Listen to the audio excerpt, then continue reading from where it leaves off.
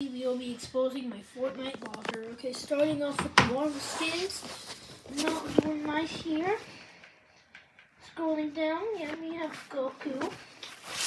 Some OG skins like Peely, and then some Battle Pass skins like Peter Griffin. And then we have like that, that guy. And then other than that, I don't think I have a lot. Let's see, I only have, I 78.